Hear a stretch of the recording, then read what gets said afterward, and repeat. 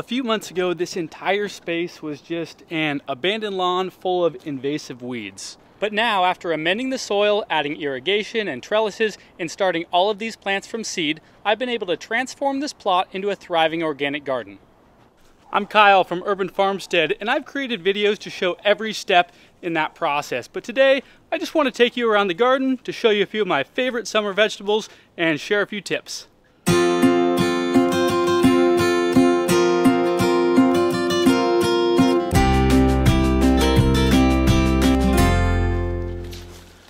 This is our bean trellis. This is where I grow all of our pole beans. There are two main types of beans, right? There are bush beans, those are the low growing plants that all get one crop at once, and then pole beans like this, tall vining beans that need some sort of trellis or something like that to support them.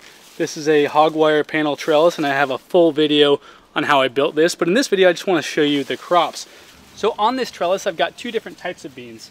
I've got your standard green bean, and I've got purple beans. Now, these are almost identical aside from the color, of course, but the flavor, the time that you harvest them, their growing habits, they're all pretty much the same. But I love these purple ones, not only because they look cool and it's different than what you can find in the store, but they also stand out a lot on the plant, so they're harder to miss because really you don't want to wait too long on these beans. Once they get too large, they become very fibrous, difficult to eat. So look in here, look at all of these purple pole beans. When harvesting beans like this, there's really no harvesting them too early. See these little beans here? They're tiny, but they would be delicious. The problem is when you harvest them too late. And I'll give you an example of the time when I like to harvest them. Here is a purple pole bean that's at the perfect size. This could be cooked up, this could be pickled, great size. But here is one that's a little bit past. Now see, there's pretty much the same length almost, but this one is becoming very bulbous. And what's happening there is the beans inside are starting to bulk up. Now you can still eat this, it's not like it's poisonous, but the bean is gonna be very fibrous and the pod rather, and the beans inside are kind of large, they're gonna be bland. So it's not really good at this point to cook up and eat whole like this. You can, but I'd recommend it like this. So what I'll normally do with beans that more or less get overlooked in the garden and become this large is I'll leave them on the plant and I'll let them grow to maturity until the outside dries up. And on the inside, I'll have dry beans that can be cooked just like any other dry beans would, or I'll save them for seeds and replant them next year. Now this has like eight beans inside. That means eight of these plants for next year. And this whole trellis right now only has about 16 plants on it. So if I save two of these, I can grow this entire thing again next year. So pole beans like this grow very tall, very fast. This is a five foot tall trellis that they've outgrown, I mean, a few weeks ago. But I'll leave them on here. They'll just kind of keep toppling over and I'll pile them back up. The next crop that I grow on the same type of trellis are our cucumbers and melons. So check this thing out. This is a striped Armenian cucumber, which is technically a melon, but they're called Armenian cucumbers, and we grow them, harvest them, and eat them like you would any other cucumber. This one is obviously massive, and normally I harvest them when they're about half this size, but that's one of the fun things about growing your own food is you can experiment and see how large you can grow something if you want to. Another cool thing about this is that most cucumbers, if you leave them on the plant too long, the skin will become very thick and bitter. But with these Armenian cucumbers, they actually still stay pretty sweet. So the only reason I don't want to grow all of them this size is that the seeds inside get pretty large. So like a melon, you end up scraping them out once they get this big. But it's still going to be delicious and this thing is still growing. Now down here at the opposite end of the spectrum, I've got tiny fruits. This is a small watermelon variety. The name is Little Baby Flower and this one's probably about halfway grown, so it's always gonna be pretty small. So it's perfect for trellising. You can trellis pretty much any melon, but larger melons might not be able to support their weight from their vines, so they could snap off. Sometimes people will make little hammocks for them to support that weight, but if you're growing small varieties, the vine should be able to support it, as long as you have a tough trellis like this to support it. I'll know that this melon's ready when I see the tendril closest to the melon start to dry up. So aside from the super large cucumber and the tiny watermelons, I'm also growing just these regular slicing cucumbers. and it's been a great crop this year. Seems like every couple of days I'm coming out here and getting harvests like this. Now, one of the main things that give me the ability to get harvests like this from our cucumbers is because I'm growing them on this trellis. Not only am I able to grow way more in a smaller space, but having them on this trellis increases the airflow, which reduces disease, helps with pollination, and it gets them off the ground so they're not rotting. It's really easy to work on these plants as they're up here like this. And I mean, I can grow so many more cucumbers in this little space. They're on like an 18 inch wide row, but they grow up and all my crop is up here. So trellising for cucumbers, I highly recommend it. I'm also growing some of these seedless greenhouse cucumbers, and what's unique about these is that the plants have all female flowers that are self-fruiting, so they don't require pollination from a male flower, and that's why they can be grown inside a greenhouse where there aren't pollinators. But it's not recommended to grow them outdoor because if they are visited by a pollinator, which they often are, then they will produce seeds and kind of sometimes do some wonky things. But for me, they've always been super productive and it's nice because even if I have late pollination or bad pollination for a crop, I can always rely on some of these seedless cucumbers to give me a good harvest. These little seedless cucumbers are the best snacking cucumbers. I'll just snack on these all day long while I'm out here working in the garden. They're kind of like the cherry tomato of the cucumber world. So here's just one of the vines on this seedless greenhouse cucumber plant. Look at all of these little cucumbers. And what's so rad is that every single one of these will grow to full maturity, whether or not they get visited by a pollinator. Okay, that's enough cucumber harvesting. Let's move on to tomatillos. All right, here we are at the tomatillos, which are one of my favorite things to grow. So it always surprises me to know that not really that many people grow tomatillos, not compared to the amount of people who grow tomatoes. And I think most of the reason there is that people just don't know how to use them. So if you're not growing them because you don't know how to use them, here's what I do. Throw them on a sheet pan, either by themselves or with some peppers and some onions and some garlic, roast it in the oven, and then blend that up. You have an excellent salsa verde, or use it for a uh, green enchilada sauce, all sorts of things. They are great roasted and used in sauces. But like a tomato, you can also eat them fresh off the vine. When you're growing them at home, you can harvest them when they're fully ripe, unlike the ones that you get in the store that are not ripe yet. So homegrown tomatillos are sweet and delicious right from the vine. There's also a lot of different varieties of tomatillos, just like there are with tomatoes. I mean, there's not as many tomatillo varieties as there are tomato varieties, but look at this one. This is called a Queen of Malinalco. It's a yellow, long tomatillo from Malinalco, Mexico, and I got the seeds from Baker Creek Seeds. It has sort of a tropical sweet flavor to it, and it is just delicious. I love snacking on these ones straight from the vine, but they also make a really nice salsa. Not a salsa verde, but a salsa amarillo. If you're planting tomatillos for the first time or if you're new to growing tomatillos, the most important thing to understand is that you need at least two plants in order to get pollination and actually get fruit on them. They can be two of the same variety, two different varieties, but if you only plant one, you'll get this giant plant full of flowers and have no fruit. Trust me, it took me three years before I finally learned that hard fact. I had great, big, beautiful plants, a lot of flowers, no fruit at all. But ever since I started planting more, and this year I think I've got six different plants here, I get enormous harvests all season long. That being said, the plants themselves also get pretty large. So they're similar to a tomato plant. They grow a little bit differently, but they're like a large indeterminate tomato. So you can trellis them the same way. If you like using tomato cages, which I personally don't, you could use a tomato cage. Or what I did this year is I'm using the Florida weave system just as I am with my tomato plants. So with this system, I put a stake at either end and I run string back and forth to keep them in between. And I have an entire video on how I set up our Florida weave system here for our tomatoes and tomatillos. So if you're interested in that, I'll link it right here. All right, I wanna show you our tomato plants, but before I do, I just wanna show you these amazing Queen of Malinalco tomatillos because They're unlike any tomatillo I've ever grown. This is my first season growing them. And not only are they beautiful, but they are so delicious.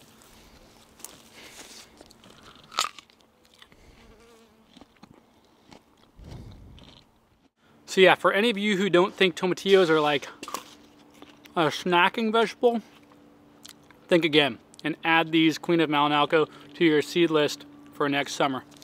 Mmm. All right, let's move on to the tomatoes. All right, tomatoes, the prize of any summer garden. Now, I'm not gonna go over every single tomato variety that we're growing in this video, and I won't go over all the tips about growing tomatoes in this video. That'll be a whole separate video. I do have a video, though, on planting our garden, so if you're interested in how I plant our tomatoes and how I initially fertilize them and everything like that, I'll add the link to that video here. But today I just want to talk about a few of our tomatoes that we're growing and give you a few tips. So the first one here is called Principe Borghese, and this is my first time ever growing this variety. I actually found these tomatoes on the Spanish Steps in Rome, Italy. There was a little cart there selling these tomatoes, and while my wife and I were in southern Italy this last fall, we kept seeing these tomatoes all strung together and hanging, whether they were hanging somewhere in a dark place in a restaurant or out on a patio, and they ended up in almost every meal we ate on pizzas and pastas. So what's unique about this variety is they hold really strong to their stem. They've got somewhat thick skin and they're not very watery. So what they'll do in Italy is they will string these all together and hang them in a big cluster, almost looks like a big cluster of grapes, and they'll hang them fresh and basically fresh preserving them for months. So while they're not necessarily the best tasting cherry tomato, they preserve like that very well. So that's gonna be exciting to try out this year and we're getting a great crop from these. Let's move on to the next one. All right, here we are in the next row of tomatoes. The rows are about three feet apart. The plants within those rows are about 18 inches apart. And again, I'm growing them up this Florida weave system. I like this spacing and this style a lot because as the sun comes across, these, these rows are oriented north to south. And as the sun comes across, it really shares sunlight and shade. It gets enough sunlight to create fruit and large, nice, healthy, sweet fruit, but it also provides enough shade as the sun comes across so you don't get scorching on all of the tomatoes. And those are two things people ask about. Some people say, well, doesn't that shade your plants too much? And others will say, how do you add shade to prevent scorching?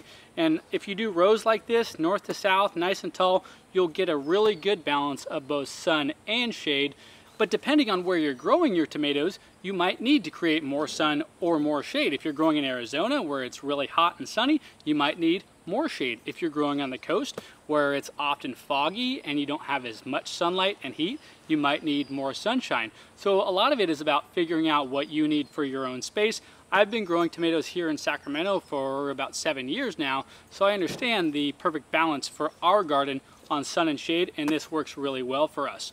So the next row here is beefsteak tomatoes, and the earlier crops are usually a little bit smaller, so this is not a full size. This variety is called Black Beauty. You can see it has this really dark purple, almost black color where the sun hits it, and then on the other side, where the sun doesn't hit it, it just is like your standard red. This tomato is about half the size, or maybe even a third of the size of some of the larger ones we'll get later in the season here, but I planted a little bit late, so most of our larger beefsteak tomatoes are still green. Let's move on to the next row. All right, this is my row of cherry tomatoes. I've got four different varieties of cherry tomatoes in this row. This one is called Favorita, and it's probably the least common variety that I grow. I get the seeds from Johnny Select Seeds. I've never seen it in a nursery as a seedling, but it's one of my favorite varieties because not only is it delicious, but it's highly productive. I snack on these things every single day, and there are still tons of them in here. So Favorita tomatoes, let me go get you the other three and show you what they are.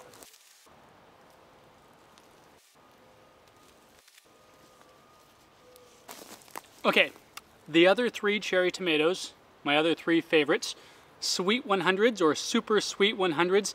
These are a sweet, highly productive tomato. Um, I love it. It's a classic. You can find these as seedlings at most nurseries. Again, I started this one from seed. Hmm.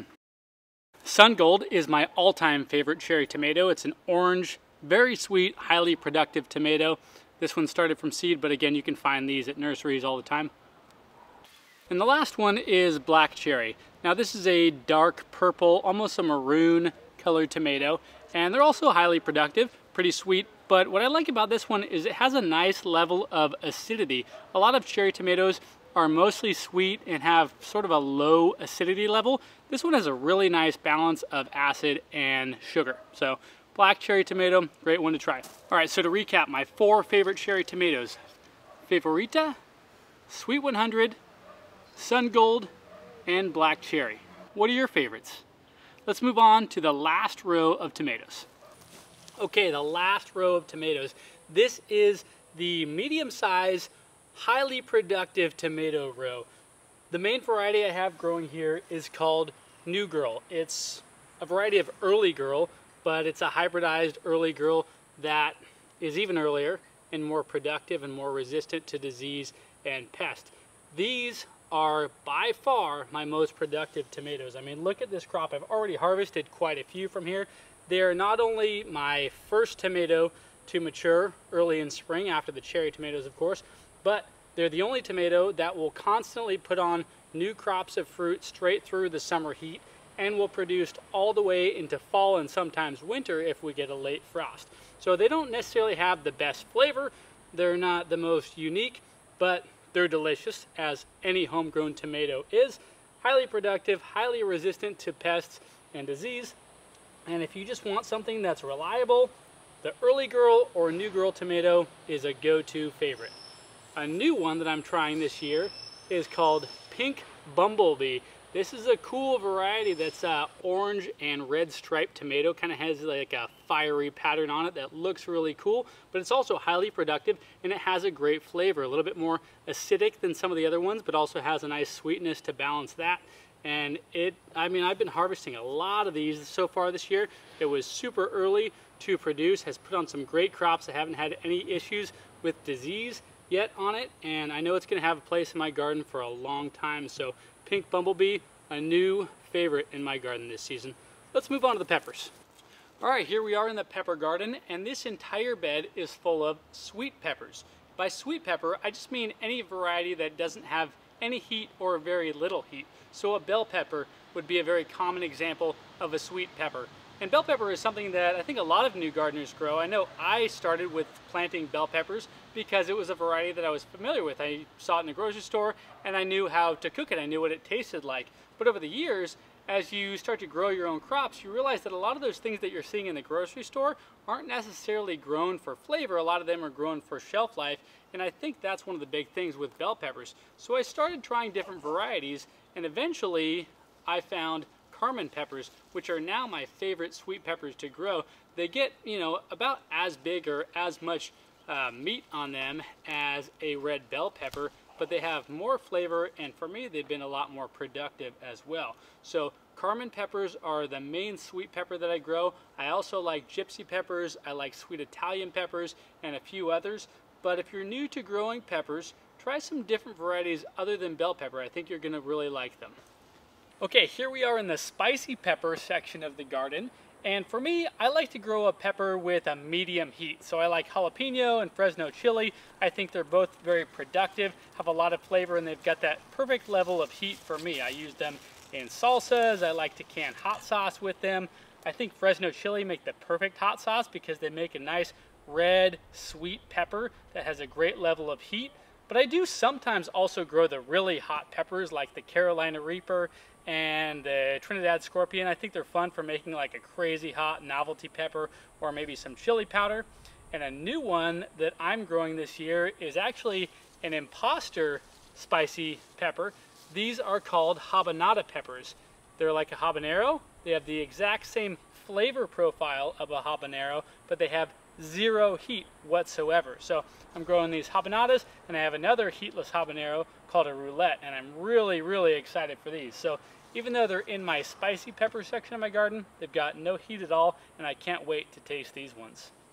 One thing that I do with these spicy peppers that I don't really do with the larger sweet peppers is I top prune them when they're seedlings. So basically just snip the top off of the pepper plant. And what that does is it encourages more lateral branching. More branching means more flowers, more fruit, and even more leaves to protect these peppers from sun scalding. So as you can see, this plant is super bushy and it's got tons of peppers on it. There's probably like 40 jalapenos just on this one plant. And a lot of that is due to the top pruning that I do early in the season. These are center cut squash and they're technically a winter squash, but you harvest them early when they're this size, like a zucchini, and you cook and eat them just like a zucchini. But if you leave them on the vine long enough, they'll continue to grow very large, also like a zucchini, and they turn into this large winter squash. So I left this one here just to see how large it would get, and look at this thing. Pretty awesome. All right, this bed here is full of bush beans. So when we started way on the other end of the garden, we had pole beans. They were, you know, they're both beans, but those were growing really tall on a trellis. And as I said, they'll continue to put on crops throughout the season. These are low growing. They'll put on one main crop really. These specifically are Romano bush beans. So they're kind of a large, flat variety um, from Rome. And I actually got these seeds when I was in Rome, which is pretty exciting. But unlike the pole beans, which when they're kind of this large and fat, those will be pretty fibrous.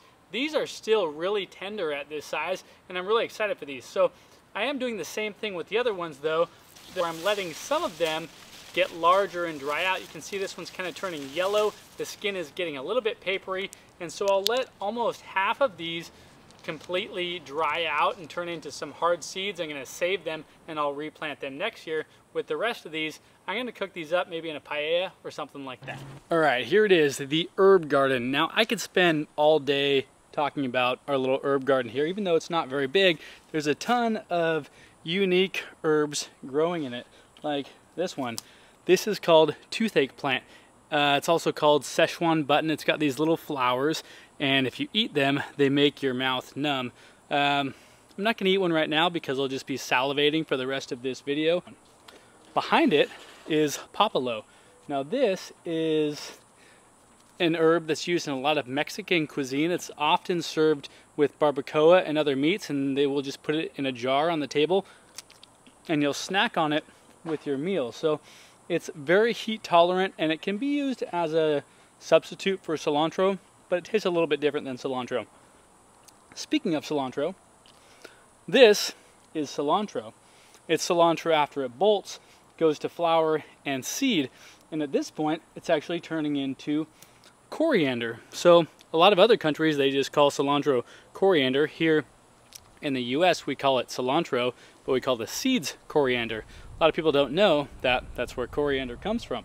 So at this point, when it bolts, I will leave this on here rather than pulling the whole plant out as I would with some other things, and I'll wait for this coriander. I can also save this coriander and replant and get more cilantro. One thing about cilantro that not a lot of people realize is that it's actually a cool season herb. So there's some areas with mild climates where you can grow cilantro straight through summer, but here in Sacramento, it's pretty hot, so this stuff will bolt quickly. So I usually grow it in spring and fall. All right, so I won't talk about all of the herbs, but one other one that I want to mention is basil. Now, a lot of people grow basil. There's a ton of different varieties of basil, but one mistake that people commonly make with basil is how they harvest it because you can, I mean, you can just start pulling off leaves however you need them and use them just like that but you're not going to encourage the plant to branch. So what you should be doing is pinching off the top of the basil right above two leaf nodes. See those leaf nodes right here? Those will branch out and make your plants much more bushy. So each one of those leaf nodes will create a new branch so you get a nice full basil plant like these. See this big bushy basil plant?